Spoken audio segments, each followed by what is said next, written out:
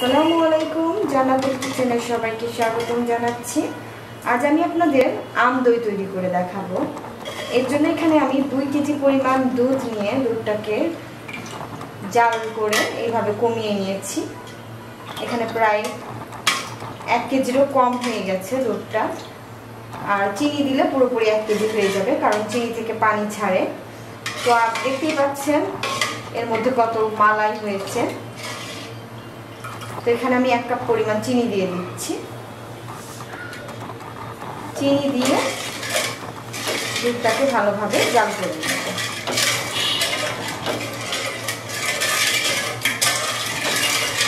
চিনিটা নাড়তে থাকবে, যতক্ষণ না ভালোভাবে গলে যায়, ততক্ষণ পর্যন্ত এটা নাড়তে থাকবে। চিনিটা গলে গেছে, আর দুধটাও কিন্তু ফুটে উঠছে।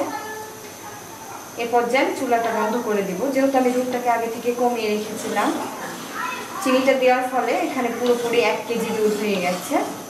চুলাটা বন্ধ করে এবার এটাকে আমি নামিয়ে নিচ্ছি। দুধটাকে আমি ঠান্ডা করে নিয়েছি। হালকা কুসুম গরম থাকতে হবে। আঙুলটা ডুবিয়ে সহ্য করা যায়, ঠিক এইরকম গরম হতে হবে।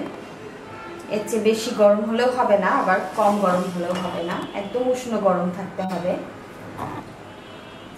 আর এখানে আমি টক দই নিয়েছি একটা বোলের মধ্যে আমি দইটা নিয়ে নিচ্ছি। টক দই আছে এখানে আমার হাফ কাপ পরিমাণ।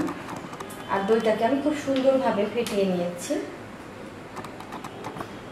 আর এখানে পাকা আমের পিউরি দিয়ে দিলাম হাফ কাপের মতো।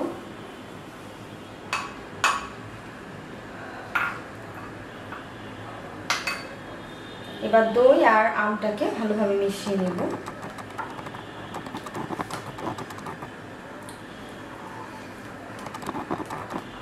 এখানে আমি গোপাল ভোগ আম ইউজ করছি। আপনারা চাইলে যে কোনো মিষ্টি আম ইউজ করতে পারেন। তবে যে আমি ইউজ করেন, মাংস আর আম ইউজ করবেন। ভালোভাবে মেশানো হয়ে গেছে। আমি দুধের মধ্যে ঢেলে দিচ্ছি সেই টক দই আর আমের মিশ্রণটাকে।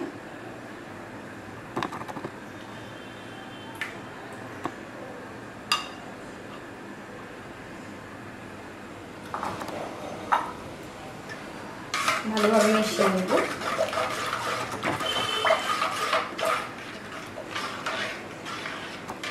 এবার দইয়ের মিশ্রণটাকে আমি একটা মাটির পাত্রে ঢেলে নিচ্ছি। আমি এখানে মাটির পাত্রের মধ্যে দইটা বসাবো।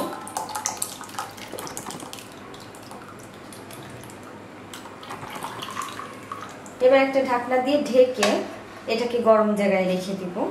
আপনারা চাইলে কম্বল অথবা লেপের মধ্যে এটা ঢুকিয়ে রেখে দিতে পারেন ভালোভাবে।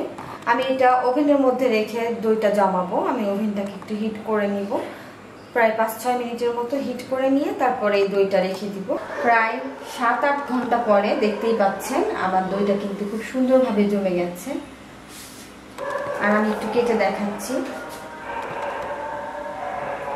দেখতেই পাচ্ছেন এটা কতটা সুন্দর হয়েছে। তৈরি হয়ে গেল আমার আম দই। আশা করছি এটা আপনারা সবাই ট্রাই করবেন। আপনাদের অনেক ভালো লাগবে। আর আমার এই রেসিপিটি ভালো লেগে থাকলে আমার চ্যানেলে সাবস্ক্রাইব করুন সাবস্ক্রাইব বাটনের পাশে থাকা বেল আইকনটিতে ক্লিক করুন।